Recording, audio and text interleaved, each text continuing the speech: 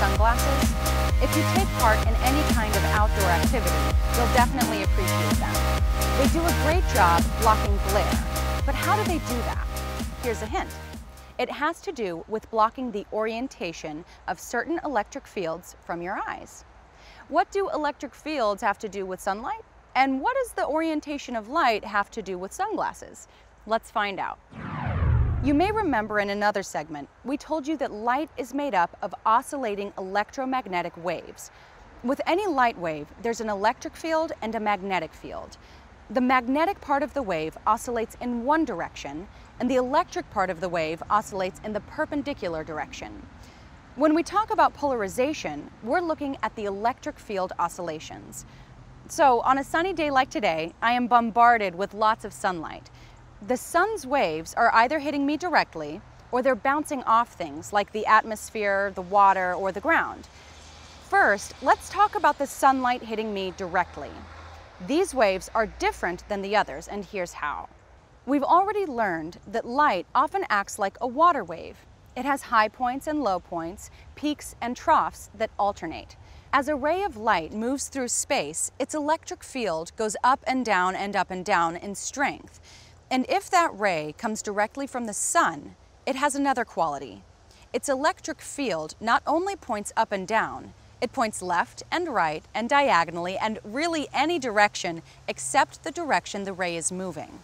If you're looking at it from the side, the ray might look like this. And if that ray of sun is coming right at you, it would look like this. The dashed lines show the electric field along the path the ray is traveling. And each of those dashed electric field lines in this diagram is a vector.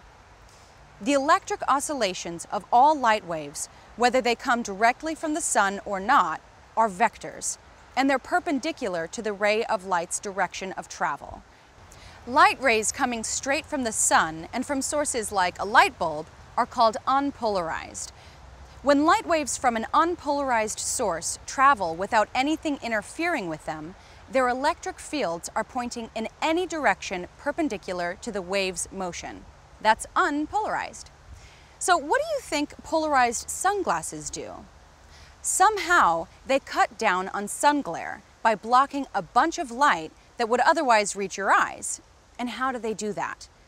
The lens acts like a filter, blocking some light and only allowing light with a specific electric field direction to pass through the lens. So the light that reaches your eyes has been polarized because its electric field only points in a specific direction. That direction depends on the filter. In this case, the filter is pointing up, so it only allows light with vertical oscillations to pass through. That's vertically polarized light. Okay, so let's see what happens if we use two filters. First, let's figure out a way to configure them so the most light gets through. Then let's position them so the least light possible passes through.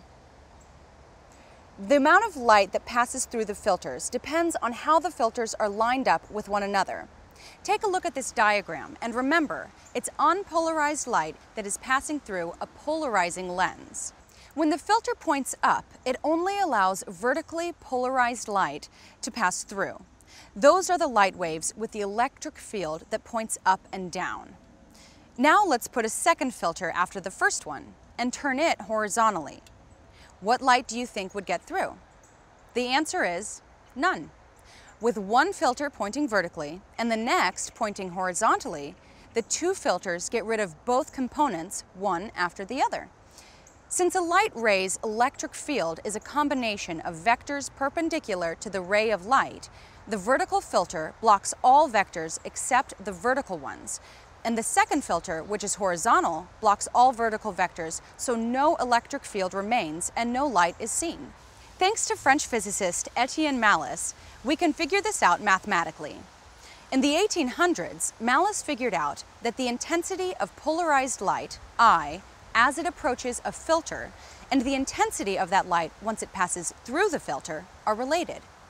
The outgoing light intensity is equal to the incoming light intensity times the square of the cosine of theta. In this relationship, theta is the angle between the filter's polarization direction and the ray of light's polarization. When you look up the cosine of 90 and 270 degrees, you see that it is zero. Any two filters lined up perpendicular to each other will completely extinguish the light. The bottom line is, when you put a vertical filter that blocks everything but vertical light, then you put a horizontal filter that gets rid of everything except horizontal light. Together, they block out all of the light and all electric fields. So here's a question for you. Given that the two filters are lined up perpendicular to one another, what can you do to get some light to pass through that last filter? How about adding a third filter? Now, what angle would you position it and where? If you put it between the vertical and horizontal filters and angle it 45 degrees to them both, you would have unpolarized sunlight trying to pass through a filter pointing 90 degrees, 45 degrees, and zero. Before we start using Malus's law, remember it only applies to light that is already polarized. In our example, we start with an unpolarized ray. That means its electric field points equally in all directions. So, mathematically speaking, if we took all the vertical components of the electric field vectors and added them up, and all the horizontal parts of the electric field vectors and added them together, these two quantities would be the same. So when our unpolarized ray runs into the first filter that points up, it eliminates all the horizontal electric field components. The light that makes it through to the other side is all vertically polarized, which is half of all the light we began with. So light intensity after filter number one equals half the original light intensity. Now that our ray of light is polarized, we can use Malus's law to figure out how much light passes through our other two polarizing filters.